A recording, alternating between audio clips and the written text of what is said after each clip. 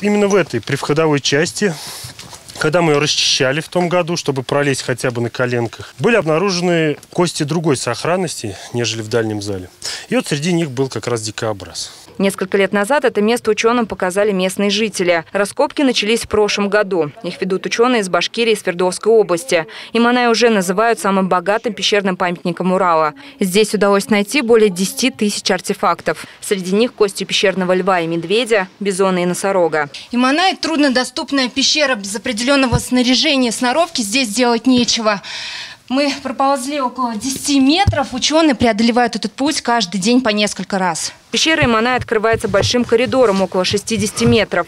Здесь уже можно встать в полный рост. Температура в пещере 4 градуса. Археологи говорят, работать комфортно. Здесь вы можете видеть как раз э, кости животных, залегающие в слое, так как они вот изначально лежали. В общем-то, видимость такая достаточно ограниченная, и отложения такие плотные, приходится во многом гадать, артефакт не артефакт. Найденные артефакты отправляют в лагерь. Здесь их тщательно промывают, отделяют зерна от плевел. В основном этим занимаются студенты и волонтеры. Для десятиклассника из Томской области Бориса Спирина это уже не первая экспедиция. Интерес от того, что ты можешь потрогать э, историю руками своими.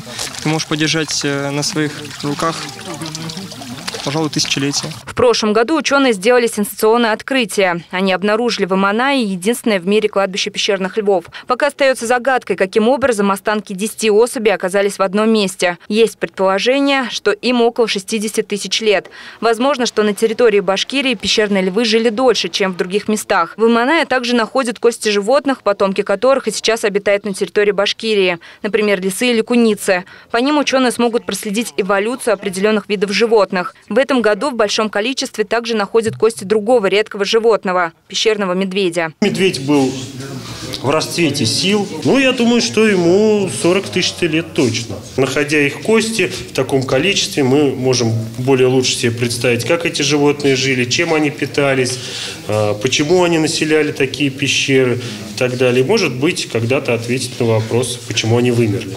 В этом году ученые обнаружили новые артефакты. Около 6 тысяч орудий труда из камня, кремния, яшмы и известняка. Они принадлежали неандертальцам. Самым ранним находкам около 90 тысяч лет. В древности это место было своеобразной мекой для охотников. Но костей человека в Иманае пока не найдено. Ну вот это острие использовалось оно для обработки очевидно шкур, проверчивания отверстий. Мы уже будем изучать там как долго им работали. В другом центре будут изучать как раз э, вот эти мелкие кости.